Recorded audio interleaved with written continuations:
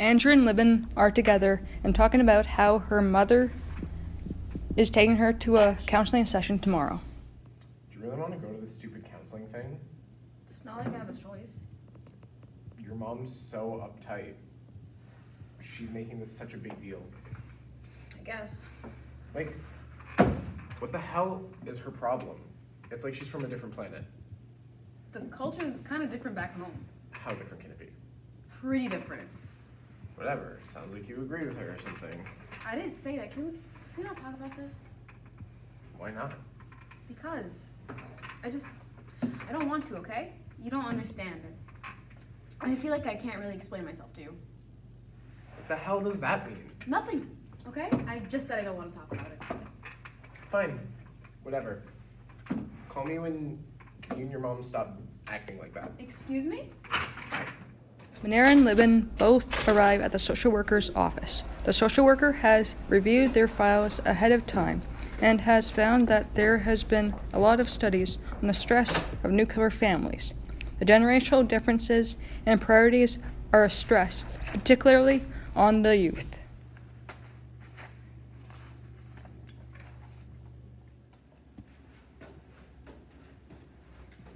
Hi, how can I help you today? Uh, we booked an appointment to see Rare today for 11 o'clock.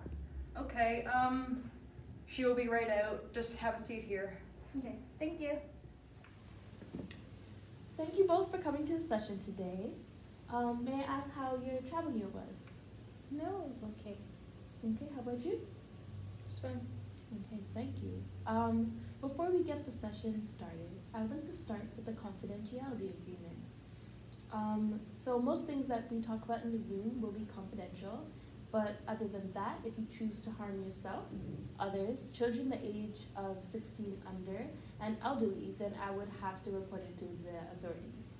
Um, alongside that, my colleagues within the facilities will have access to the file, um, but only by consent.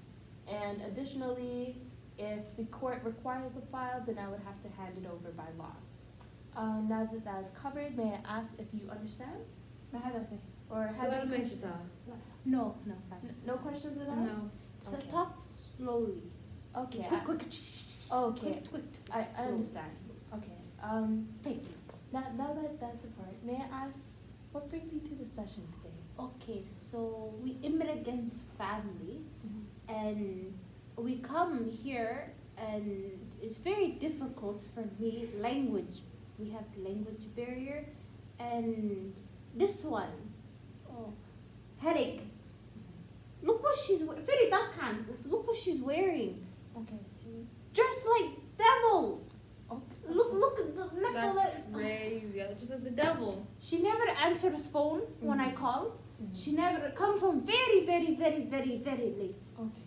it's just headache Okay. Um, from what I can understand, I believe that the clothing might be a little different from when you moved here. I- Is it a? It's a bit of a change. Is- yes that- weird Okay. Um, also, th- you kind of mentioned a language barrier. mm-hmm. Um, how are you coping with the language barrier? Are you doing anything for yourself? For i watch tv and work okay. also helps but sometimes like when you talk quickly i don't really understand Okay. but like I can try to slow it down for you as well. Um, also, we do have resources for free classes for language. Since you are new to Canada, we have a variety of resources that we can provide for you to kind of help you integrate into Canada's um, society, of course. Um, how do you feel about language classes? Hi, good Yeah, okay. I will prepare that resource for you. Um, but on the other side, may I ask how you feel about the situation of um, coming to Canada She's and how you're adjusting? I'm doing ha. I'm doing everything that I can to fit in with everyone else because I'm the one that has to go to high school. You don't know how mean kids can be. Okay. i come from somalia we come from war I was there. May, uh, may I ask you, uh, how is the environment at school? Like, what what are the certain? I just try to keep my head down. I just try to. I just try to do what all the other kids are doing. Like just hanging out with them, you know, going out with them, stuff like that, like regular teenage stuff. And she thinks that it's so crazy. Never- We're not in three- Somalia. three- it's three 2020. o'clock. Three o'clock morning. Um, do, do you mind if I ask, is changing the way you dress helping you adjust into Yeah. the school environment? Yeah, like Okay. they won't look at me weird. They won't stare at me the same if I'm wearing garbasara, dira, bati. It's called culture clothes. Okay, the culture. Very clothes. nice. Very nice. Okay. Mhm. Um. If I may make a Masha. suggestion, is there way, is there maybe a way that you could integrate your cultural clothes with the clothes that we have here and kind of make it work so you can represent your culture and maybe educate the other youth about your cultural heritage? Because sometimes they might be interested and it might help you get um, more friends. I don't know if I have the confidence for that. Okay. Um, may I make a different suggestion then, if that works for you? Um, sometimes schools have community groups that they have after school or at lunchtime. And I believe that it might help it, uh, integrate you into school. Is that something that you might be open to? Yeah, that sounds like a good idea. Okay. Like community groups within like peer groups and stuff Yeah, of with course. other students. Yeah, and maybe you could make some new friends if you're open to it. Yeah. Yeah, because I don't really have the chance to talk to other people in the halls or like during class or whatever. And after school, I'm usually out with my friends. So. Um, I guess this might be a great opportunity for you to make some new friends as well. Um, just to summarize the session, um, the resources that I will be providing today and the goals that we have set are basically helping you find language schools or lan- language classes that you could take within your free time, or maybe some apps that you can use on your phone uh, to help you kind of integrate and understand a bit more. And then for you, if it's okay, I could kind of connect with your school about pulling resources for peer groups and finding other supports.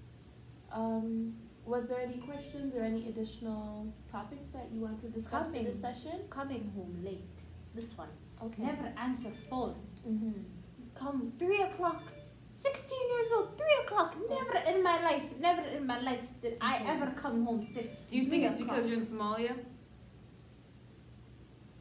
Ma, Anida, uh, Okay. Okay. talking back to me. What- Okay. Ne- disrespect. Ch- Okay. So from from this uh, situation here, may I ask about the communication? Would it be too much to ask for if you just um, maybe text your mom or maybe just connect with her a little bit more so she could feel that you're safe, especially you guys being in a new environment. She might be very fearful for your security. So I try to text her, but it's not like she knows how to use a phone. Okay. I don't. I'm old. I I don't. Oh. Technology is. She can't call me saying, "Okay, I'm I good. can't always I'm call fine." you. That's not what I'm What used are to. you doing always three text. o'clock morning if you can't call? I see. So, uh, from what I'm understanding as well, you might need some supports with your phone to how to communicate a little bit better. It would be easier to text her, a lot easier instead of calling. Okay, it's the text messages that might. Did you know that there's actually a way that we could um, make your text messages in your own language, so it's a little bit easier for her to communicate or Like an automatic translator? yeah, there's She there's could use one of that. those. Yeah.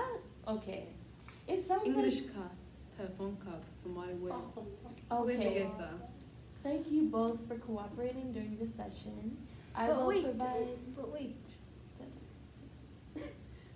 I will provide the right resources. What? But did you have one more thing to add? She. Why, why does she? Even if I do text, why does she want me? I want to hear her voice. I want to make sure anyone can text her phone. So why, when I want to call her, she wants to text, text, text, text. Okay. Um, from from my observation, most youth uh, in uh, Canada, they're kind of really used to the texting. It's it's like a new new hip thing. It's kind of with their generation. Uh, do you find it's easier to text her during the day? A lot Is that- easier, but if it means that much to you, then I can pick up a Three call. o'clock Mhm. can't call. Mhm. Um, Uh, if it's okay, I would just like to advise you both to kind of keep that communication for your safety and for like both of you to feel kind of comfortable. Okay. Okay, so now to kind of wrap up the session, I'm going to summarize the topics that we spoke about. Spoke about um, language, um, understanding the Canadian culture, For her?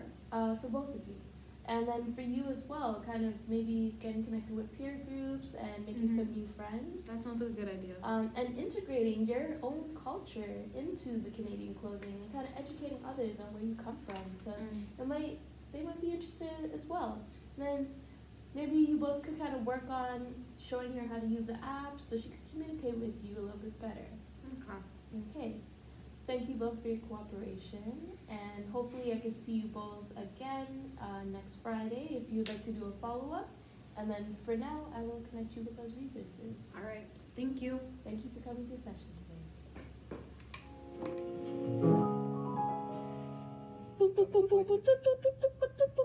From the beginning. Okay. Um, scene five, take Six. take six. Wait. hold on. This girl's trying to kill me. Alright, so hold on.